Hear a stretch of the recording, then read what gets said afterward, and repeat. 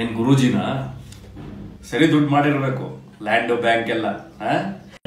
ದುಡ್ಡು ದುಡ್ಡು, ಕಾಸೋ, ಕಾಸು ಏನು? ಪಿತ್ರಾಜಿತನ. ಸ್ನೇಹಿತರೆ, ಹೀಗೊಂದು ದಿನ ಆತ್ಮೀಯ ಮಿತ್ರರನ್ನು ಕಾಣಲು ಅವರ ಕಾರ್ಯಾಲಯಕ್ಕೆ ಹೋಗಿದ್ದಾಗ, ಅವರು ಇವನನ್ನು ಅಚಾನಕ್ಕಾಗಿ ಕಂಡು ಅಚ್ಚರಿಯಾಗಿ ಅತ್ಯಂತ ಪ್ರೀತಿ ಆಧಾರಗಳಿಂದ ಮಾತನಾಡಿಸಿದರು. ಆ ರೀತಿಯ ಹೃದಯಾಂತರಾಳದ ಪ್ರಕೃತಿ ಸಹಜ ಪ್ರೀತಿಯಿಂದಲೇ ಇವನು ಇಂದಿಗೂ ನಗು ನಗುತ್ತಾ ಜೀವಿಸುತ್ತಿರುವುದು. ಅದೇ ಅಹೋರಾತ್ರನ ಆಸ್ತಿ. ನಾವು ಹೀಗೆಯೇ ಮಾತನಾಡುತ್ತಿರಬೇಕಾದರೆ ಮಧ್ಯೆ ಅವರ ಉನ್ನತಾಧಿಕಾರಿಗಳ ಫೋನ್ ಬಂತು. ಹಾಗಾಗಿ ಅವರು ಆ ಮೇಲಧಿಕಾರಿಯ ಕೋಣೆಗೆ ಹೋಗಬೇಕಾಯಿತು. ಆಗ ಆ ಮಿತ್ರರು ಇವನನ್ನು ತನ್ನ ಜೊತೆಗೆ ಕರೆದುಕೊಂಡು ಆ ಅಧಿಕಾರಿಯ ಪರಿಚಯ ಮಾಡಿಸುವುದಾಗಿ ಹೇಳಿದರು. ಆದರೆ ಆ ವ್ಯಕ್ತಿ ತುಂಬ ಗಡುಸು ಸ್ವಭಾವದವನೆಂದು ಏನಾದರೂ ಅಚಾತುರ್ಯದ ಮಾತನಾಡಿದರೆ ದಯವಿಟ್ಟು ಬೇಸರಿಸಬಾರದು ಎಂದು ಹೇಳಿದರು.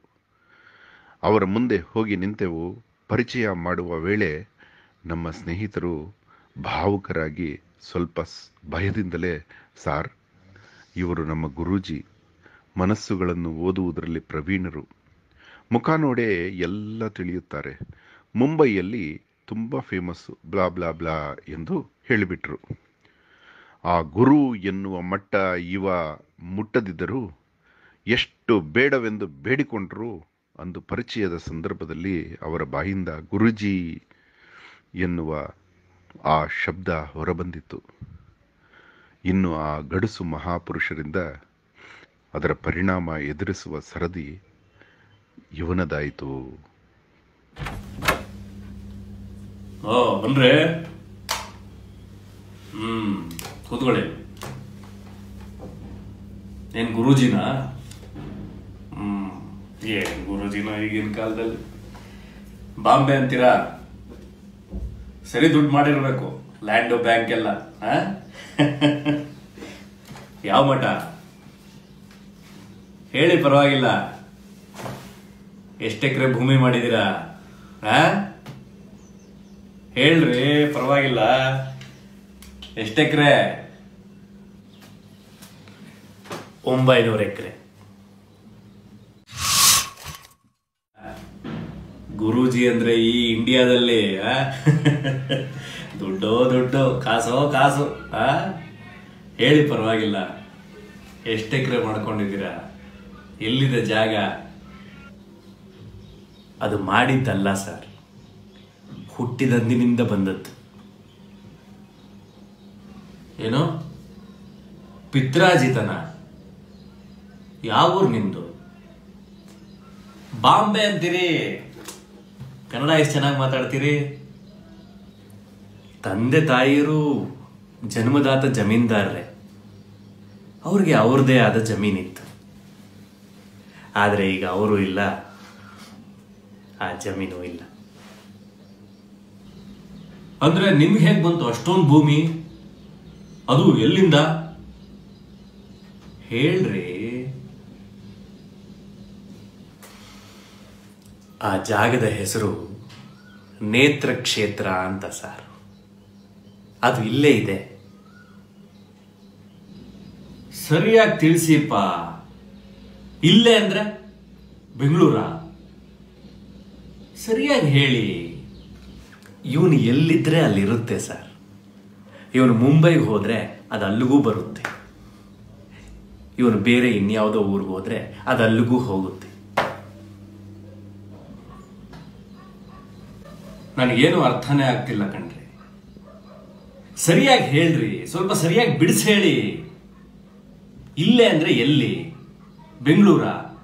ಅಷ್ಟೊಂದು ಜಾಗ ಎಲ್ಲಿದೆ? ಸ್ವಲ್ಪ ಹೇಳಿಪ್ಪ. ನಿಮ್ಮ ಹತ್ರನೂ ಅಷ್ಟೇ ಆಸ್ತಿ ಇದೆ ಸರ್. ಅಷ್ಟೇ ಅಲ್ಲ. ಈ ಜಗತ್ತಿನಲ್ಲಿ ಹುಟ್ಟಿದ ಪ್ರತಿಯೊಬ್ಬರೂ ಒಂಬೈನೂರು ಎಕರೆಗೆ ಒಡೆಯರು.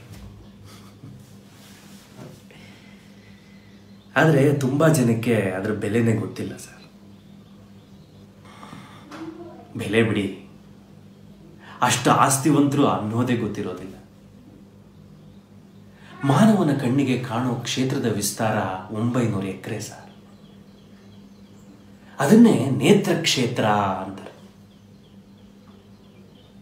ಅವನು ನೋಡಿದಷ್ಟು ನೋಟ ಅವಂದೇ ಅಲ್ವೇ? ಅಷ್ಟು ನೋಟದ ವಿಸ್ತಾರ. ಅವನು ಎಲ್ಲಿ ಹೋದ್ರೂ ಅವನನ್ನ ಹಿಂಬಾಲಿಸ್ತಾನೇ ಇರುತ್ತೆ.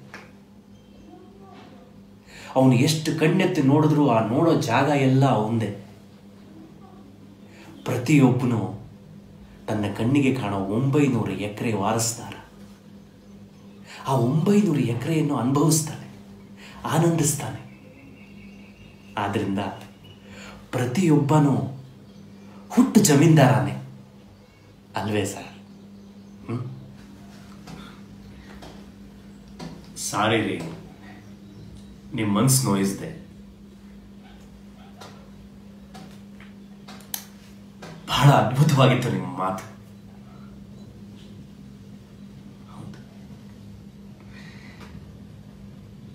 ನೀವೇನು ತಪ್ಪು ತಿಳಿಯೋಲ್ಲ ಅಂದ್ರೆ ದಯವಿಟ್ಟು ನಮ್ಮ ಮನೆಗೆ ಬರ್ತೀರಾ?